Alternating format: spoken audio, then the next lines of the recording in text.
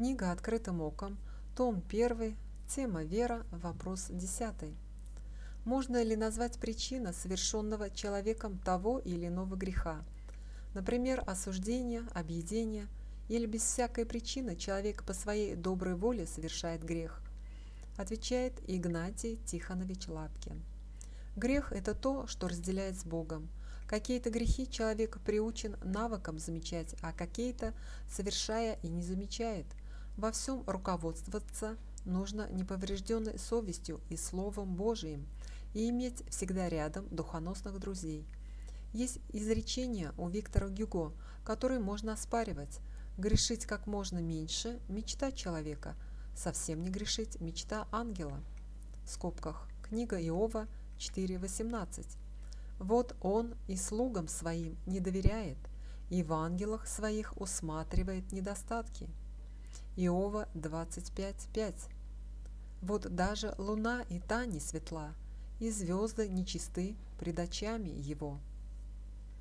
Навык, опыт, возраст духовный приобретаются не сразу. Только на молитве искренней, открытой можно увидеть себя в истинном свете, даже в юности. Премудрость Соломона 4, 10 и 16 стихи. Как благогодивший Богу он возлюблен, и как живший посреди грешников представлен. Праведник, умирая, осудит живых нечестивых, и скоро достигшая совершенства юность, долголетнюю старость неправедного. Псалом 18, 13 стих. Кто усмотрит погрешности свои, от тайных моих очисти меня. В молитве так и читается – согрешение вольное и невольное, ведение и неведение.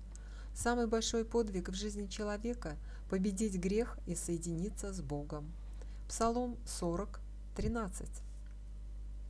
«А меня сохранишь в целости моей и поставишь пред лицем Твоим навеки». Главная причина греха – потеря страха Божия, а без него ничего великого не сотворишь.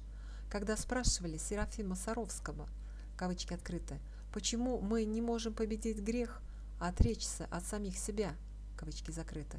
Он отвечал, в кавычках, не хватает решимости –